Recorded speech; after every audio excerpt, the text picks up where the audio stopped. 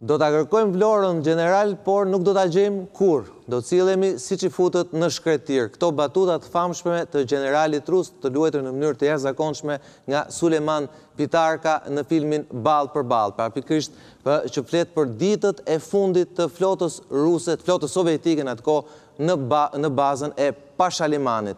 Dukej sikur ishte një retorikë e largët filmash të realizmit socialist. Po në fakt, pak muaj më parë, pikërisht tek baza e Pashalimanit u konstatua ajo që mund të ishte rishfaqja e interesave të reja, apo të vjetra le të themi, në forma të reja, ruse në Ballkan. Prezencë e cila natyrisht më shumë sesa sasiore, duket se ka qenë cilësore. Le të ndjekim një material të gazetarit tonë, Thimi Samarxhi. Marrëdhëniet Shqipëri-Rusi kanë kaluar ndër vite të gjitha fazat. Që nga dashuria e viteve të para pas Luftës së Dytë Botërore, tek urrejtja e pas viteve një mijë e nëntëqind e gjashtëdhjetë e një, e deri tek ndërrimi i kursit pas viteve një mijë e nëntëqind e nëntëdhjetë e një, ku Shqipëria iu bashkua Perëndimit dhe NATO-s. Rusët ishin mbështetësit kryesorë të Shqipërisë së drejtuar nga Enver Hoxha, ku pas luftës shumë shqiptarë do të udhëtonin për në Rusi, e shumë rusë do të vinin në vendin tonë. Ndihmat e shumta, kryesisht në fushën ushtarake, do të bënin që brenda një kohe të shkurtër, vendi ynë të rimëkëmbte ushtrinë e tij, nën shembullin e ushtrisë ruse. Por marrëdhëniet e mira do të merrnin fund me vdekjen e Stalinit, ku do të shënohej edhe prishja përfundimtare e marrëdhënieve mes dy vendeve. Ngjarje kjo, që për gjithë shqiptarët do të mbetej e ngulitur në kujtesë, nga batutat e aktorëve Sulejman Pitarka dhe Bujar Lako, në filmin Ballë për Ballë, ku propaganda e kohës tregonte se si Shqipëria hodhi në det Rusinë. Në qoftë se ti kërkon të ikësh, unë të konsideroj dezertor dhe do të godas derisa të asgjësoj. Do ta kërkojmë Vlorën, admiral, po nuk kemi për ta gjetur më kurrë, dijeni këtë nga unë. Po do bredhim nëpër Mesdhe si çifutët nëpër shkretëtirë. Kjo është ikje. Ikje. Për tridhjetë vjet Rusia dhe Shqipëria nuk do të kishin asnjë kontakt deri në vitin një mijë e nëntëqind e nëntëdhjetë e një, kur do të rivendoseshin sërish marrëdhëniet diplomatike mes dy vendeve. Në njëzet e shtatë vite, vëmendja e Rusisë është rritur ndaj rajonit, e veçanërisht ndaj Shqipërisë, ku si për ironi të fatit do të ishte pikërisht Pashalimani vendi nga ku do të jepej sinjali i parë i një vëmendjeje të shtuar të Rusisë në fusha që cënonin sigurinë kombëtare. Në katërmbëdhjetë tetor dy mijë e gjashtëmbëdhjetë, disa shtetas rusë dhe një shoqërues shqiptar janë ndaluar nga policia në afërsi të bazës së Pashalimanit. Ata janë prezantuar si gazetarë, pjesë e televizionit Kanali pesë me seli në Shën Peterburg dhe kanë pasur për qëllim realizimin e një dokumentari mbi pasojat që sjell anëtarësimi në NATO, i vendeve të Ballkanit Perëndimor. Në mezin e tyre ishte edhe Sergej Belous, një emër jo i panjohur në mediat ruse. Belous, një muaj përpara kësaj ngjarje ishte ndaluar në Kosovë, ndërsa rreth tre vite më parë u raportua se ai ishte arrestuar nga autoritetet ukrainase. Ndalimi i tyre u konfirmua në atë kohë nga të gjithë, si ushtria, policia, por edhe vetë ambasada ruse. Por nëse ambasada u shpreh se nuk kishte asgjë të parregullt dhe ata u lanë të lirë, policia deklaroi se ata u shoqëruan deri në Rinas, ku dhe u dëbuan. Por gjithsesi një gjë është e sigurt, interesi i Rusisë është shtuar për Shqipërinë, edhe pse zyrtarisht personeli i ambasadës ruse është shtuar vetëm me tre persona nga viti dy mijë e trembëdhjetë, të paktën personel i dukshëm. Zoti Bugaj, në fakt te ai filmi Ballë për ballë, gjenerali sovjetik thotë kjo është ikje. Në fakt ka një të vërtetë, rusët ikën, por a po kthehen ata sërish? Jo. Pak fjalë lidhur me në vazhdim të kësaj. Para një vitit një ndër historianët ma aktivë për çështjet shqiptare në Rusi, Ulunjani, ka shkru një libër tepër interesant. Diplomacia dhe zbulimi sovjetik, në drejtim të aleatëve dhe kundërshtarëve në Ballkan, ku i kushton një kapitull Shqipërisë. Bëhet fjalë për mas pushtimit të Çekosllvakisë, 68, më falni, 68, 69. Mos harrojmë se pikërisht ai ai pushtim u bë edhe kazus për Shqipërinë që të zyrtarizonte daljen nga traktati nga traktati i Varshavës. Por Meqë shumë dokumente tashti sekrete janë hapur, ai referohet disa dhënave shumë interesante të zbulimit të KGB-së dhe të zbulimit ushtarak. Pra, Bashkimi Sovjetik në atë kohë angazhonte përveç diplomacisë edhe zbulimin e KGB-së, zbulimin e jashtëm dhe zbulimin ushtarak. Kur e kam lexu, të them të drejtën, jam çuditë. Lloj-lloj, lloj-lloj agjentësh rusë apo sovjetikë punonin në Shqipëri.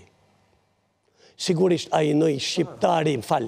Po pra, se shikojmë edhe nga të dhëna që ne kemi, nga burime zyrtare, nga Ministria e Jashtme, nuk ka një shtesë të paparë të personelit të vetë ambasadës ruse. Pra, nuk ka një, pra, po duket ama që prezenca e tyre është shumë më e fortë sesa prezenca fizike e stafit. Tani, por kryesisht, kryesisht diplomatë të vendeve të lindjes, të vendeve ish-socialiste, çekë, rumunë e tjerë, nuk po hy. Pra, është e çuditshme se sa aktivë kanë qenë në në Shqipëri. Tani të vijmë te e sotmja, që është kryesorja. Unë nuk jam shumë dakord me këto ça thuhen çdo ditë në qoftë në prendim qoftë edhe tek ne. Pra ka një gogol rus thonë ju. Jo, jo e kam tjetër këtu unë, që është rrit influenca ruse. Përkundrazi, është rrit dëshira dhe aktiviteti rus për të hyrë në Ballkan. Por jo prezenca ruse. Po ta marrish kështu. Rusia historikisht ka qenë e pranishme në Ballkan. Besoj e keni ndëgju ose qoftë s'e keni ndëgju për lexuesit.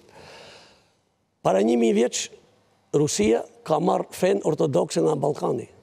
Para një mijë vjeç, më fal, para 500 e sa vjeç ka marrë alfabetin nga Ballkani. Në Rusi ekziston një mendim, po që dominon në historiografinë politikë etj etj që Ballkani është vazhdim historik i historisë tonë kombëtare. Shiko, edhe një herë, Ballkani është vazhdimësi historike e historisë tonë kombëtare të Rusisë. Pra ato e quajnë Ballkanin si pjesë të veten. Dhe, historikisht, po të marrësh që nga të paktën projekti i Katerinës së dytë për krijimin e perandorisë sllavo-greke nën kry Rusinë, po të vish ma vonë tek lufta, luftat që ka zhvillu Rusia me Turqinë janë nëntë lufta gjatë dyqind vjetëve, të cilat i ka zhvillu kryesisht Për të dominu Ballkanin, Grykat, etj, etj. Po të vish tek lufta për çlirimin e Bullgarisë, ku janë vra 200 mijë rus. 200 mijë rus janë vra. Pamvarësisht se Bullgaria pastaj e drodhi, kaloi aleate me Gjermaninë e tjere. Po të vish tek Aleanca e Fshehtë Ballkanike, Ambasador ata Ballkanin, Serbinë e kanë, Malin e Zi e kanë, se janë filorus dhe janë sllav. Çështja është për ne shqiptarët e kuptojnë. Një minutë. Nuk kemi ndonjë lidhje përveç atyre viteve të nuk është vetëm Serbia Mali i Zi. Komunizëm. Sot Ballkani është shiko. Jo, jo, them që prezenca e tyre në në Serbi, në Mal të Zi, në Bosnjë, në shtetet sllave, nuk ke ça t'i bësh. Do ta kesh sepse shiko, serbët serbët e luajnë atë, e kanë luajtur që me Titon kartën e e konkurrencës për të përfituar. Dhe vazhdon dhe vazhdon sot Serbia të njëjtën gjë. Çështja është ne ne kemi një prani të shtuar nga nga ajo zbrasti që u krijuan pas viteve 90, kemi element këtu filorus, prorus që po ngjallen, Unë mendoj se ka, po janë, unë mendoj se ka, po që janë të tulatur, se kanë frikë dhe kanë kompleksin e etiketimit komunist dhe, dhe stalinist. Mlani ta çoj deri në fund. Puna është që a është kjo, a është kjo, do me thënë, na, na, na, na bën ne, na kthen mbrapa në, në rrugën tonë që e kemi drejt perëndimit, vokacionit perëndimor. Edhe një herë ta maroj. Kaq është. Dikur, në Ballkan, dikur, në Ballkan ata kanë qenë, dikur, janë, do jenë. Dikur ishte shumë e fuqishme, sepse kishte alat.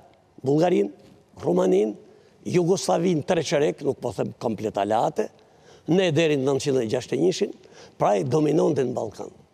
Me kohë, me kohë erdhi duke u largu. Tani, mas viteve nëntëdhjetë, po të marrim, aleata ma besnike, aleati ma besnik është populli bullgar. Edhe ma shumë sesa serbët e dunë rusin. E dini, besoj që Hitleri apo Car Borisi nuk çoi divizione bullgare me luftu kundër rusit, sepse e dinte që nuk luftojnë. Sot, sot, Bullgaria është krejtësisht në politikë kundër rusit. Po të marrish rrjedhën, rrjedhën jugore, kush e pengoi?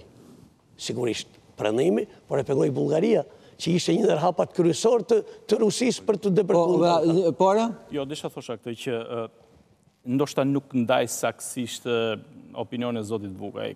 Influenca ruse në Ballkan tashmë nuk është nuk është mister, Është rritur në mënyrë të jashtëzakonshme. Është rritur jo thjesht për pesë. Po, aq bile sa Shtetet e Bashkuara kanë shkuar tek ideja e një presidenti amerikan për Ballkanin, që në këtë rast funksionet formale do t'i luante zëvendëspresidenti Mike Pence, i cili ka drejtuar dhe disa konferenca strategjike në në rajon me të gjithë liderat e Ballkanit. Patjetër. Sigurisht, prania ruse nuk duhet konceptuar vetëm si prani spiunësh, le ta themi. Sigurisht edhe ata janë shumë të pranishëm. Prania ruse është një prani së pari investimesh. Prania ruse është përmes asaj që quhet diplomacia e tullës. Mos harrojmë, mos harrojmë që rusët janë blerësit më të mëdhenj imobiliareve në Ballkan. Mos harrojmë tjetrën. Përfshi dhe Shqipërinë. Përfshi dhe Shqipërinë. Përfshi dhe Shqipërinë. Mos harrojmë tjetrën që Përveç Shqipërisë dhe Kosovës, të cilat janë dy shoqëri, dy një shoqëri, po quajmë dy shtete apo një komb, i cili nuk ka asnjë lloj njolle në politikën partiake sa i përket marrëdhënieve me Rusinë, asnjë shtet në Ballkanin Deri më sot, pasi të le të themi, nëse nuk është njollë, hije dëmtuese me këtë që ka ndodhur, ka. Okej, Sokol, por në asnjë rast nuk mundet që kjo të mbërrijë në kuotat e asaj që do thosha pak më parë, që nuk ekziston asnjë vend, asnjë shoqëri, asnjë demokraci që nuk ka parti potencialisht të deklaruara pro-ruse. Dakord, po a mund të jetë, dhe dalte, dalte ideja e Frrokut këtu.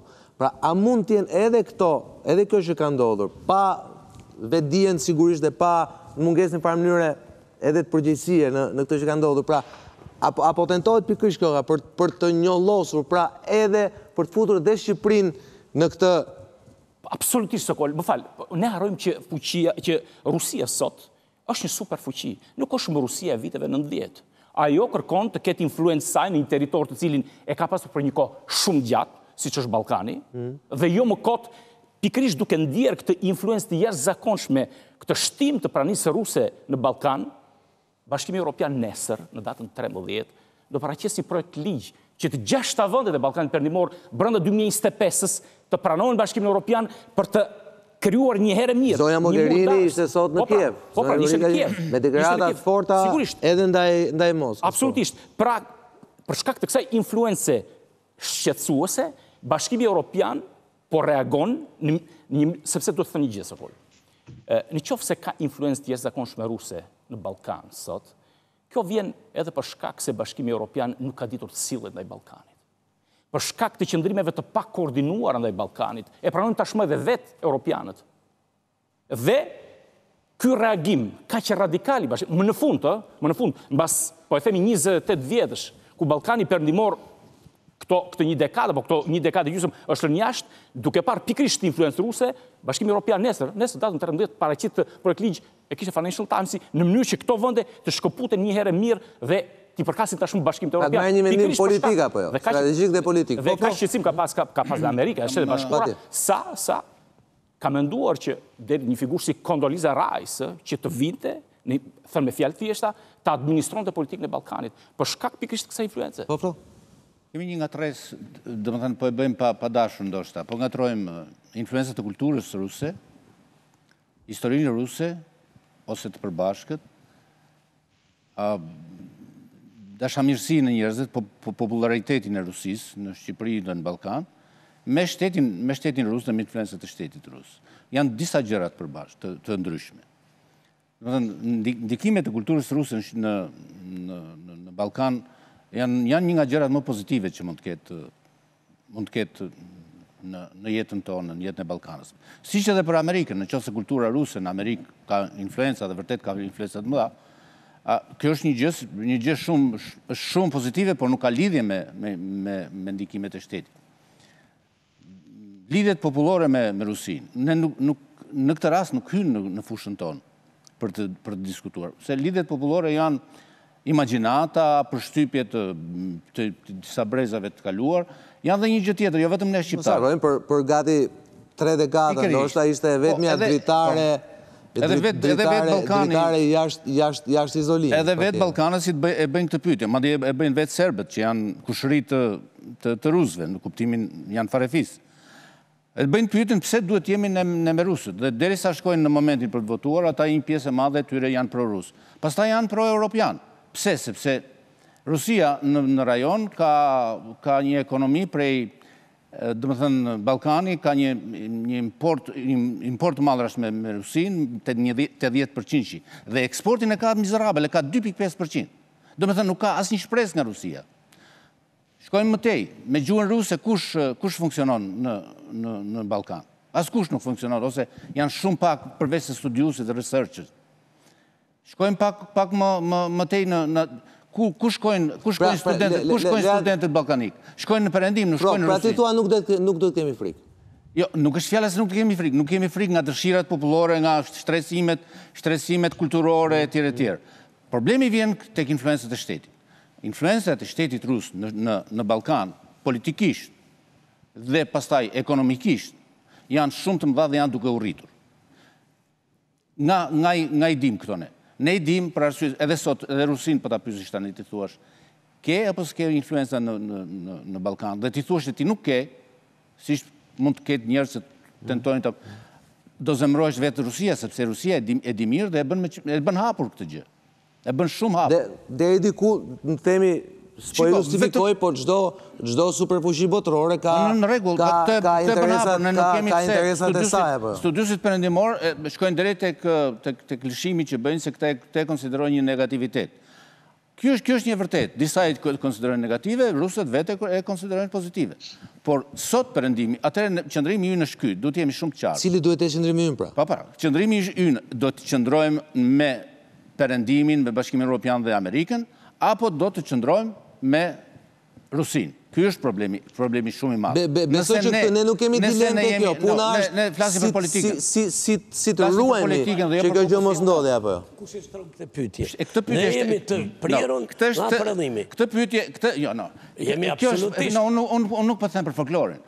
Unë po them për politikën. Për politikën pra, jemi te folklori komplet. Nëpër kafe thuhet gjithandej që në... Nuk po, po flasë për kafet. Unë po flasë për mm. solucionet politike. Ne kemi për të dëgjuar çfarë po thonë sot politikanët e Amerikës, çfarë po thonë sot Bashkimi Europian. Bashkimi Europian po nxiton se si të vërë,, të ketë mm, shtetet e Balkanit anëtare. Një gjë fake, sepse Balkani nuk është gati. Dhe në momente të caktuara kur Bashkimi Evropian, e cila është klinikisht duke vdekur, kujtohet se duhet të t'ia rrëmbejë Rusisë, do të thotë që Rusia është prezente. Është prezente dhe ka mbushur, ka mbushur një boshllëk, po. Shkojmë më tej, Mike Pence, zëvendëspresidenti i Amerikës, në shtatëmbëdhjetë gusht të vitit të kaluar, në Montenegro, në Mal të Zi, lëshoi alarmin që influencat e Rusisë janë duke u rritur, e madje fjalë për fjalë ai tha, siç e dini, Rusia vazhdon të, kër, të kërkojë të, të ndryshojë kufijtë ndërkombëtarë, t'i ndryshojë me forcë. Dhe këtu në Ballkanin Perëndimor, tha Pence, Rusia ka punuar për të destabilizuar rajonin.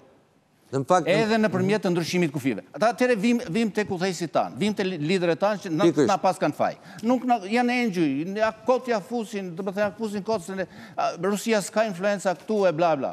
Këto janë këto janë të këto janë padituri, naivitete etj etj. Të tërë udhëheqësat e shqiptarëve në Kosovë, në Shqipëri dhe udhëheqësat e shqiptarëve të Maqedonisë janë duke u përpjekur të shesin dhe të ndërrojnë kufi. Është pikërisht influenca ruse. Të paktën po të dëgjojmë, në qoftë se s'duam të dëgjojmë Shtetet e Bashkuara, kjo s'është e vërtetë. Por zëvendëspresidenti i Shteteve të Bashkuara të Amerikës ja ku ta thotë. Dhe Genc nga dhe, dhe, Genci nga Parisi. Shkojmë shkojmë më tutje. Po. Vemi më tutje. Në bazë, sipas deklaratës që bëri para një jave, komandanti i forcave të ushtrisë të ushtrisë amerikane në rajon, Pentagoni në vitin dy mijë e nëntëmbëdhjetë ka planifikuar që ta rrisë buxhetin për për mbrojtjen e rajonit në gjashtë pikë dy miliardë dollarë. Pra, çka tregon që çka tregon që alarmi, alarmi është real. Ka një alarm. Alarmi, alarmi është real. Ne do besojmë Amerikën apo do besojmë Rusinë? Genc, a duhet të kemi frikë nga gogoli rus? Po, po të qëndrojmë te kuadri shqiptar, nëse më lejon disa minuta ta, sepse u bë pak kohë që s'kam ndërhyrë. Në këtë emision zoti Vasjari e shtroi problemin nëse mbaj mend në terma juridike, morale dhe politike apo jo. Po. Të rrimë ke ky debat një ke Lulzim Basha. Pastaj Rusia, strategji botërore, e të kalojmë debatin shqiptar, po mund të flasim. Juridikisht Ok, do të jap një shembull dhe ta kuptojnë rastin shqiptar.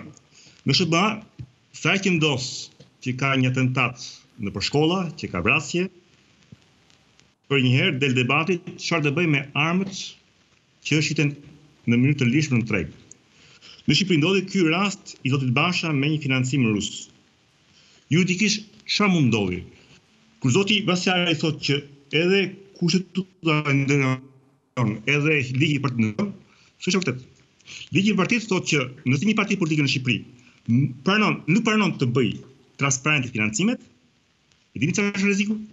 Është thjesht një rrezik financiar.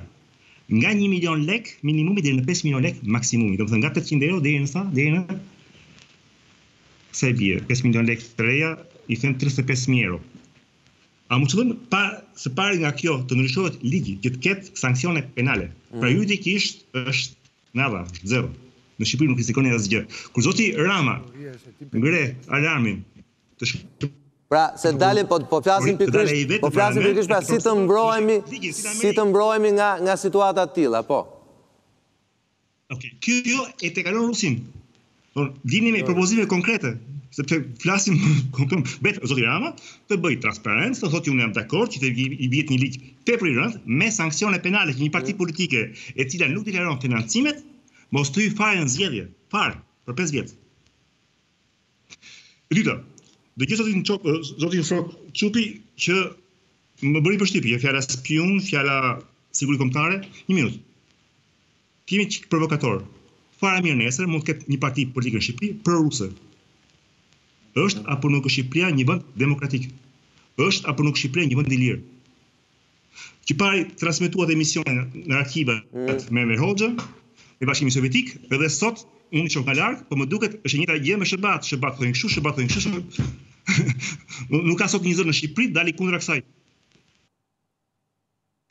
Pra ju thoni, po ju, ju thoni meqë jemi në vend demokratik, që... duhet të kemi lirinë të themi që jemi dhe pro-rusë, këtë po thoni, apo anti-amerikanë. E komplet, komplet, Pse jo?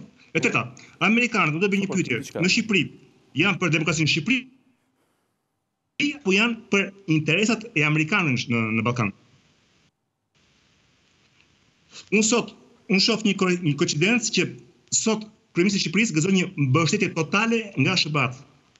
Dhe në momentin që ai ndihet pak i fragilizuar, lizuar në Shqipëri, del prapë një element që i vjen nga Amerika për të ndihmuar zotin Rama. Dhe kjo, dhe kjo ju duket juve po aq shqetësuese apo ishte një paralele me mbështetjen që Moska i jepte dikur liderëve komunistë në Shqipëri? Këtë po thoni. Unë po them se që amerikanët në radhë të parë kanë interesat e tyre, është normale.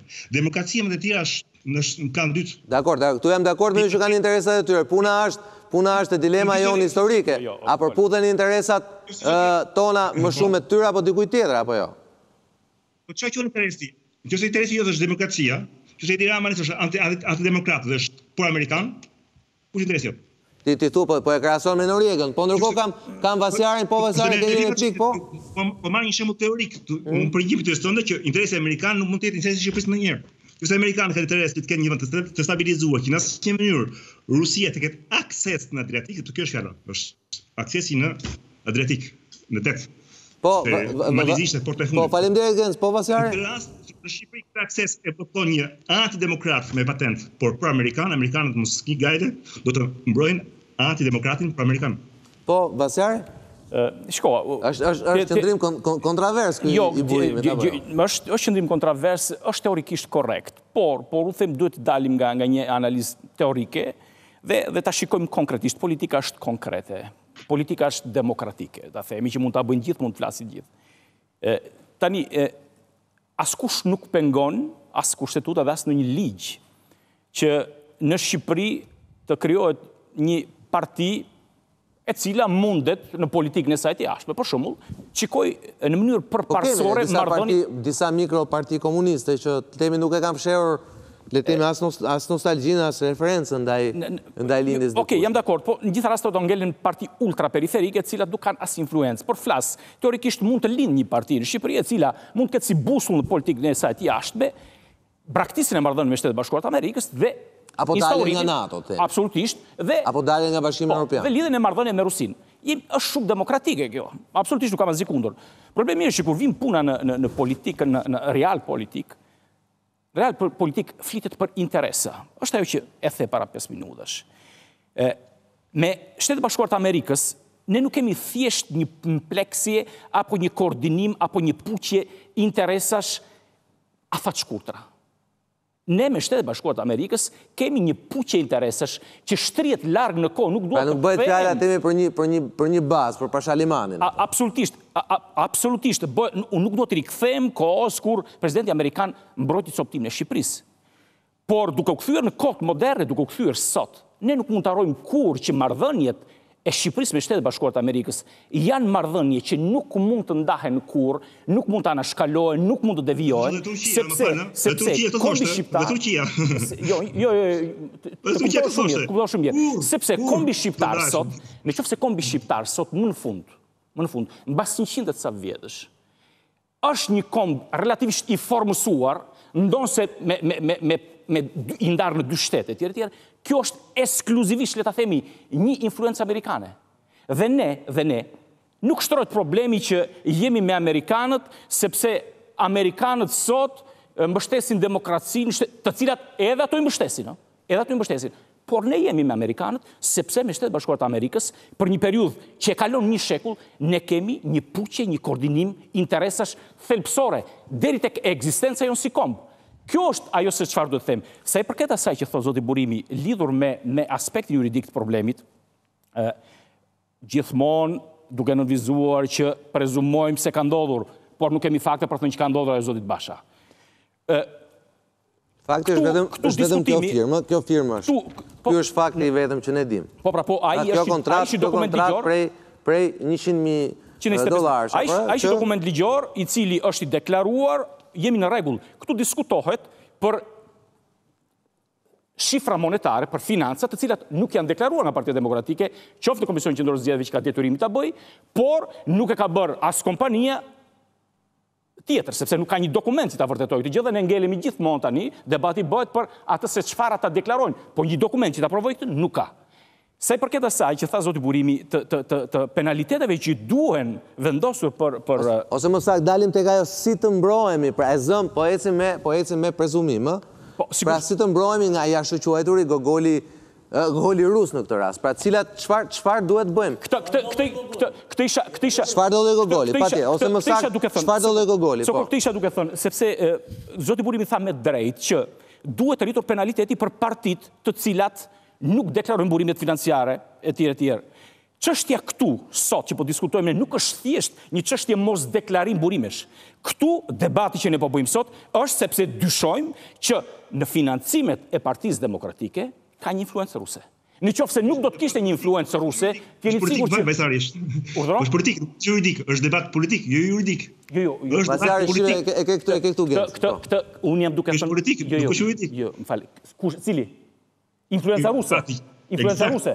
Është politikë e ruse. Në fillim të gjë, jam duke thënë që sa i përket penaliteteve për mosdeklarimin e financave etj etj etj që imponon kushtetuta, ligji për partitë, jemi okay. Diskutimi që ne bëjmë sot është sepse ka dalë faktori rus si një faktor që influencon në jetën politike në Shqipëri. Ky është diskutimi, sepse në qoftë se ne sot, do të thotë se u cenuan dhe interesat e SHBA-ve në Shqipëri që doli ky problem.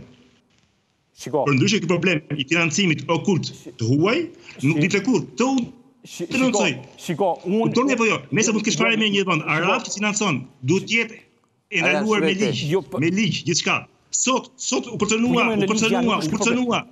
Më fal, jo. biem dakord, biem dakord në një pikë, zoti Burimi, që në qoftë se nuk do të bëhej fjalë për një influencë ruse në jetën politike, po. konkretisht Partinë Demokratike, ne sot nuk do ta bënim këtë debat. Kjo është shumë e rëndë, dhe është shumë e rëndë. Është tjetër problem, jam shumë dakord me ju që është shumë e rëndë, jam shumë dakord me ju, por ne nuk do ta bënim, sepse, të jemi të ndershëm intelektualisht dhe themi, kemi pasur ne raste pagesash nën dorë, influencash etj etj, por nuk kemi pasur atë ruse, që do të thotë se debati është konsumuar, aq pak dhe është mbyllur. Jo, po pra, pra, ne, kemi një rast po konkret, ëh. Ne kemi një rast konkret, de, debatin për një nga anëtarët e grupit negociator apo jo. Po. Uh, për për çështjen e detit, për uh, kolonel uh, Meçollari, i po. cili nga njëra palë nga opozita akuzohet se është agjent, le ta themi, kinez, rus etj etj. Ndërkohë nga nga nga nga pala e qeverisë mbrohet me idenë që ai maksimumi mund të kenë qenë bashkëpunëtor i amerikanëve dhe në këtë pikë nuk ka problem. Problemi është, çështja është a duhet të jetë apo jo problem që akses në çështje të sigurisë kombëtare, ku futet dhe financimi i partive politike, është problem aksesi, aksesi i influencave të huaja. Kjo edhe kjo është një çështje, pavarësisht se Genci e kap në sens më kontravers dhe unë sigurisht Nëse më pyet mua personalisht dhe unë nuk shoh ndonjë problem që të jesh agjent i amerikanëve, por nga pikëpamja shtetërore, ky është problem. Absolutisht, sepse nuk jemi duke bërë fjalë për një parti periferike, për një parti të rendit të shtatë, po jemi duke bërë fjalë për një parti e cila nesër mund të vijë në pushtet dhe hyn në konflikt jo thjesht me interesat amerikane, por edhe me interesat shqiptare. Ky është problemi. Dhe përse ne jemi të ndjeshëm ndaj Rusisë? duke marrë shkas atë që thotë zoti zoti Burimi, sepse mos ta të themi disa gjëra. Sepse ne mendojmë që potencialisht bien ndesh me interesat tona. Sigurisht, dhe këtu merr përparësi diskutimi yt. So, sepse sot në Ballkan mm. ka influenca të jashtëzakonshme jo vetëm ruse, po edhe kineze. Ik shikoni infrastrukturën serbe. Apo turke. Nuk jam dakord. Po, mirë, po nuk jam dakord. Interesi im sot është në Shqipëri, interesi janë zgjedhjet. Nëse themi që zgjedhjet janë vjedhur në 25 qershor, një minutë, një minutë. Ky është një diskutim që bëjmë sot, po që zgjedhjet jemi dakord. Nuk janë vjedhur, domethënë se në Shqipëri sot interesi kombëtar janë zgjedhjet, është demokracia. Edhe ajo është, sigurisht edhe ajo është. Sigurisht edhe ajo është, por por tema tema sot është kjo. Ne jemi të ndjeshëm ndaj influencës ruse, sepse nuk jemi kaq të ndjeshëm ndaj influencës kineze apo ndaj influencës turke etj etj, po jemi ndaj influencës ruse sepse Rusia është në konflikt të qartë